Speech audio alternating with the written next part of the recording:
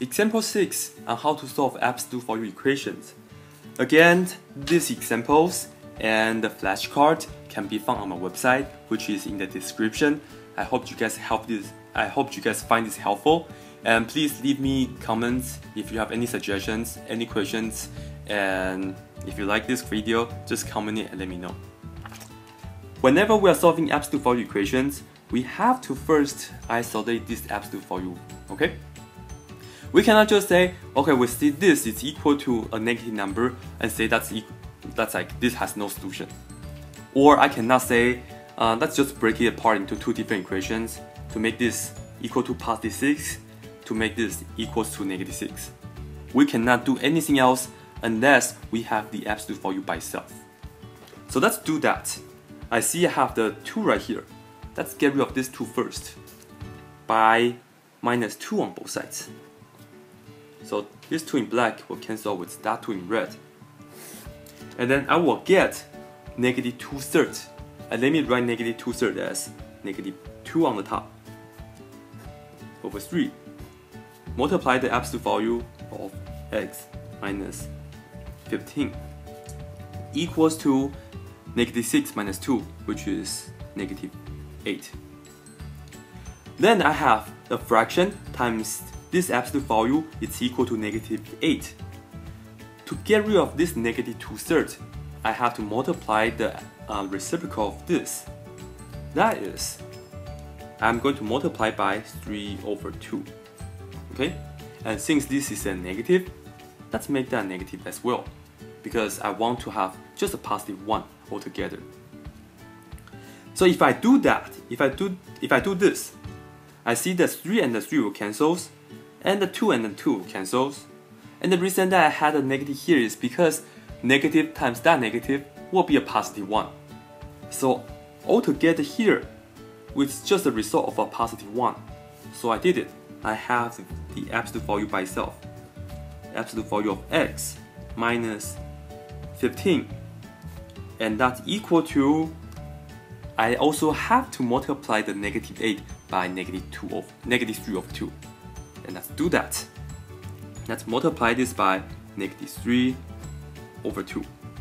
Okay, and maybe put that, make that more visible. So I have a whole number multiply a fraction. Let's make the negative 8 as negative 8 over, uh, over 1. Then to multiply fractions, we can cross cancel first.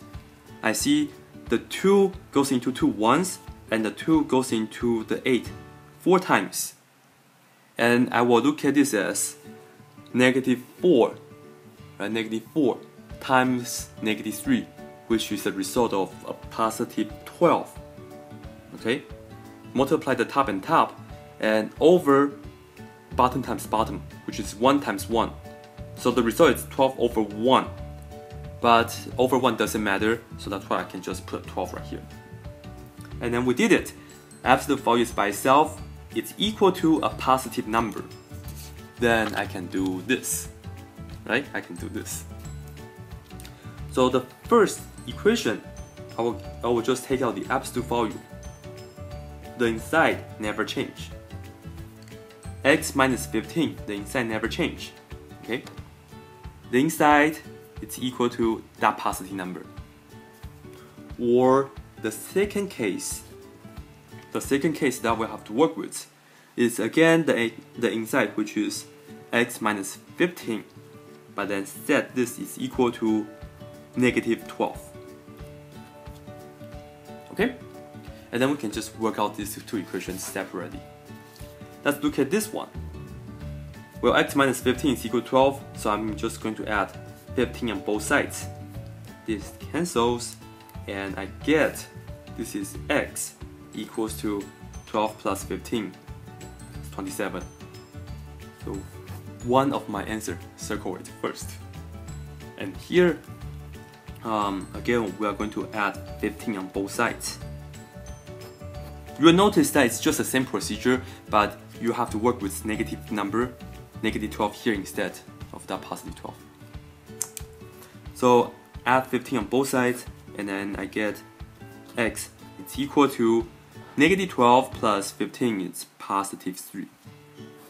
My second answer. And notice that we end up with two answers, right? And I want to point out that whenever we are solving absolute value equations, um, it's likely to have two answers. But we have seen in um, example number four that you can just, I think example number four, like in the previous example, that you may just have one answer. That's possible. And in this case, we have two answers, and these two answers are both positive. Okay, so it's it's possible to have both answer to be positive. It's possible to have both answer to be negative. Okay, and it's also possible to have one positive answer and one negative answer. Okay, so you have all these kind of different um, um, outcomes for the answer, and just make sure that you follow the steps correctly. The key is always isolate the absolute value first.